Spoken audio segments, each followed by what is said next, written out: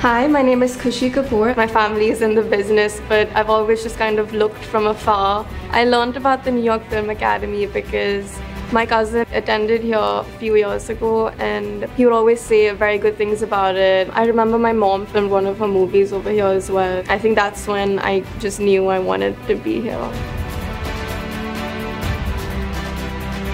I definitely wanted to join a school that was very hands-on with their students. I definitely wanted to experience being in front of a camera and just going more deep into scene work and things like that. And I know that New York Film Academy offered all of that.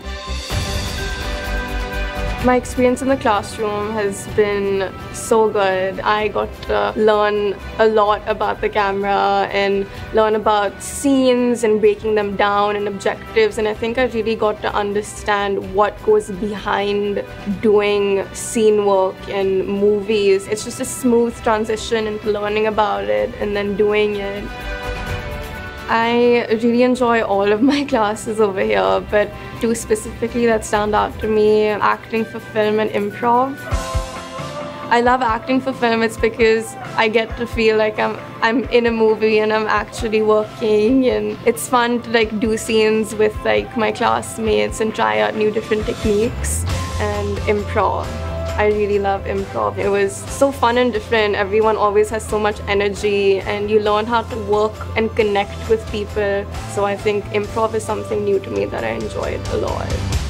I really love my instructors. All of them are so unique and different in their own ways and they have different ways of teaching and each class is a completely different experience. Everything that the instructors give you is specific to you. I've become so close to all of my classmates. My section is like my family now and I definitely think I will keep in touch with them throughout the years. I've met so many different people and made so many memories with all of them and just being in campus I feel like I affiliate that with such a good and positive energy. It's been an incredible experience for me.